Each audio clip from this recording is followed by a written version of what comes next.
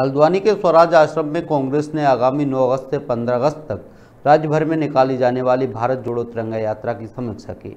यह कार्यक्रम में प्रदेश अध्यक्ष करण माहरा और नेता प्रतिपक्ष यशपाल आर्य सहित कार्यकारी अध्यक्ष रणजीत रावत और भुवन कापड़ी मौजूद रहे।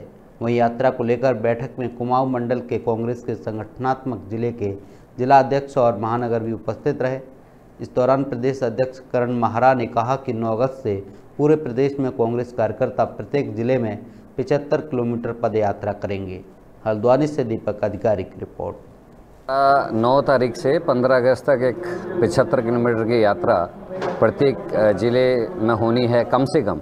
और ये इसका मंतव्य यह है कि जो कांग्रेस की विचारधारा है, उससे स्वतंत्रता संग्राम के आंदोलन की जो विभूतियों को लोग भूल गए हैं, उनको दोबारा से लोगों को याद दिलाने। देखिए, भारत जोड़ो एक विचारधारा है और कांग्रेस की विचारधारा है, जो सर्वधर्म संभाव है, जो भारतीय जो हमारी संस्कृति, धर्म, मज़हब, जाति, बिरादरी, समुदाय, संप्रदाय का एक हमारा एक गुलदस्ता है। देखिए, आज़ादी की पचहत्तरवीं वर्षगांठ का ये वर्ष है और जो पूरे देश में, हर जनपद में, हर ब्लॉक स्तर पर मनाने की कांग्रेस की योजना है।